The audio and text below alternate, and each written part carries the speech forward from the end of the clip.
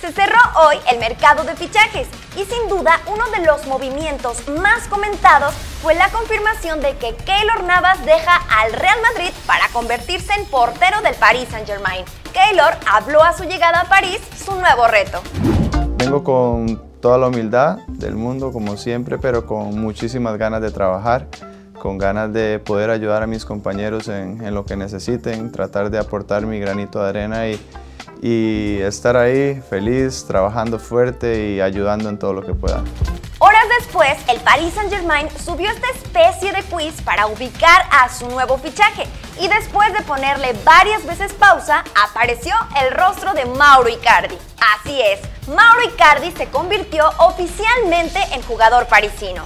Según informaron varios medios, Icardi llega a Francia cedido con una opción de compra no obligatoria de 70 millones de euros. Hola a todos, estoy muy contento de, llegar al Paris Saint Germain. Dale París.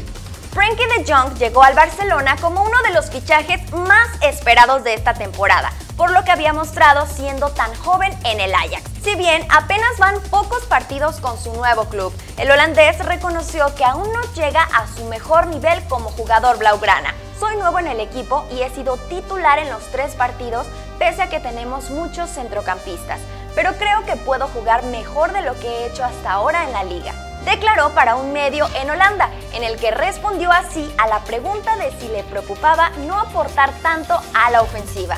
La gente cree que es necesario sumar goles y asistencias, pero el fútbol no es tan simple. No estoy preocupado. El racismo en las tribunas tuvo una nueva víctima, Romelu Lukaku. El atacante belga fue víctima de insultos y cánticos racistas en su visita a la cancha del Cagliari, donde anteriormente Matuidi y Moiskin ya habían sufrido por estas cosas.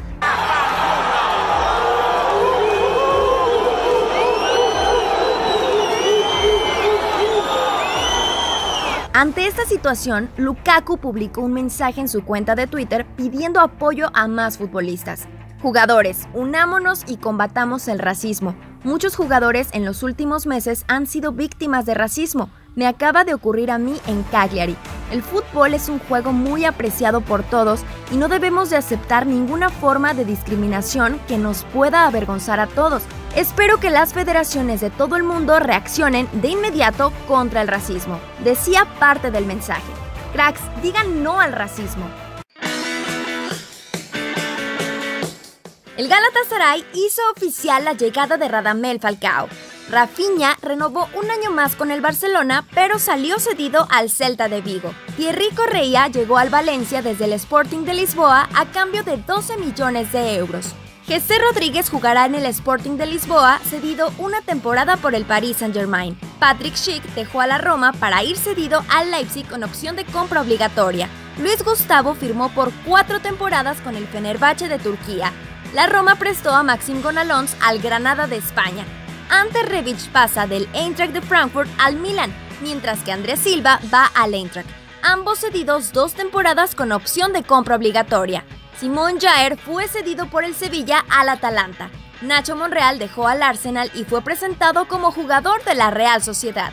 Al final no llegaron las bombas de Zidane y nombres como Neymar, Eriksen y Paul Pogba se quedan en sus equipos, al menos de aquí al mercado de invierno. Y bueno cracks, hasta aquí llegamos. Si les gustó el video denle like, compártanlo, sigan todas las redes sociales oficiales de Cracks. Nosotros nos vemos muy muy pronto.